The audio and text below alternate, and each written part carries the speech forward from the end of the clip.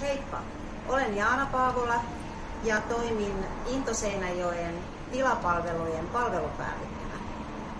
Pääasiassa mä toimin Rytmikorjaamon ja Pramin toimitila ympäristössä. Eli vuokraan toimitiloja yrityksille.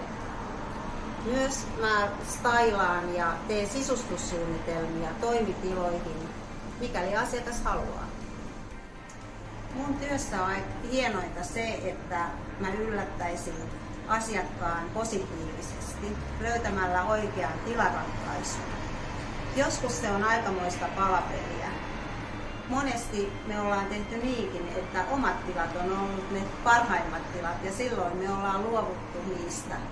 Joskus myös tehdään niin, että jo olemassa olevilla yrityksillä on semmoiset tilat, mitä se uusi asiakas haluaa, silloin me ruvetaan miettimään, että miten me saataisiin paras vaihtoehto kaikille asiakkaille näistä tilakokonaisuuksista. Mielestäni olen erityisen hyvä asiakaskohtaamisessa. Osaan lukea asiakkaan ajatuksia ja pyrin ratkaisemaan siltä pohjalta. Ja haluan aina asettua itse asiakkaan tilanteeseen niin, että tietäisi mikä on hyvä minulle, on myös hyvä asiakkaalle. Innostun ihmisistä.